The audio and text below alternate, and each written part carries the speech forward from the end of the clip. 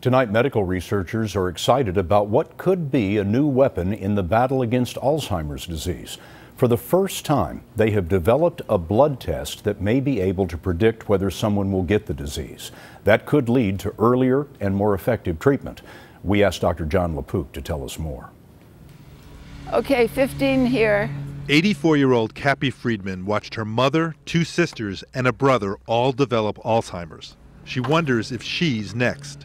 I'm very, very concerned. I've had to watch, you know, three siblings die from this dreadful disease. Friedman and her boyfriend, 82 year old Bob Bressler, enrolled in a study looking to see if a simple blood test could help predict her future.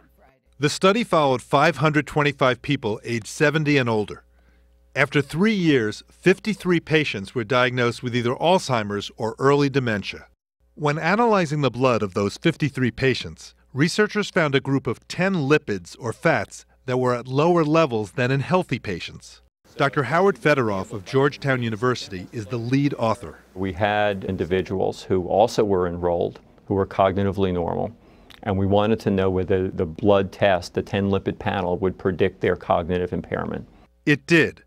Researchers tested the stored blood of 10 people who were initially normal but developed dementia over three years. Nine of the 10 tested positive.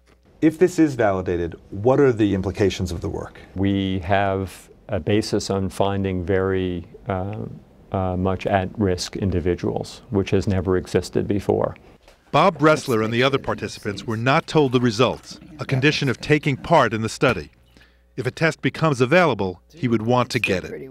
If I have some disease, even though I couldn't be cured, I would certainly want to know about it. Dr. Federoff says this work needs to be duplicated in other labs and with a larger number of patients.